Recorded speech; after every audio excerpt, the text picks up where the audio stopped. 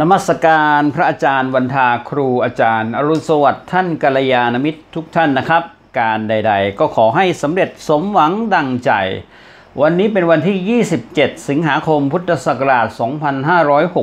2565 ตรงกับวันเสาร์ขึ้นหนึ่งค่ำเดือน 10 ปีขาน วันนี้เป็นวันเริ่มต้นเริ่มต้นเดือน 10 นะครับไม่เหมาะแก่การมงคลฉลกดีวันนี้กับสีที่ใช้แล้วมีความสำเร็จคือสีฟ้า สีน้ำเงินสีคราม สีน้ำทะเลสีกลมมาท่า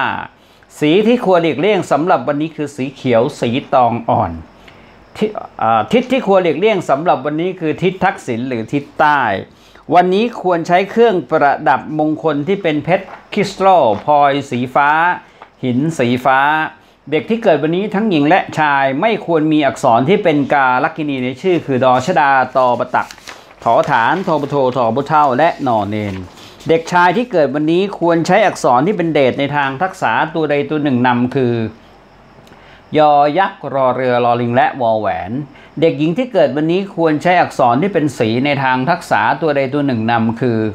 สอสาราสอบรสีสอเสือ หอหีบรอจุราหออ่างและหอนกคู่มายเซตวันนี้ สุนทรผู้รจนาไว้ว่า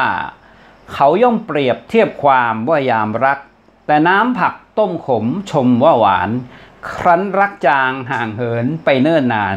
แต่น้ำตาลว่าเปรี้ยวไม่เหลียวแล ขอเป็นกำลังใจในการเริ่มต้นวันใหม่ให้กับทุกท่านนะครับด้วยรักและห่วงใยจากผมอาจารย์ไก่นารันทา มีปัญหาชีวิตคิดอะไรไม่ออกบอกอาจารย์ไก่ขอบคุณและสวัสดีครับ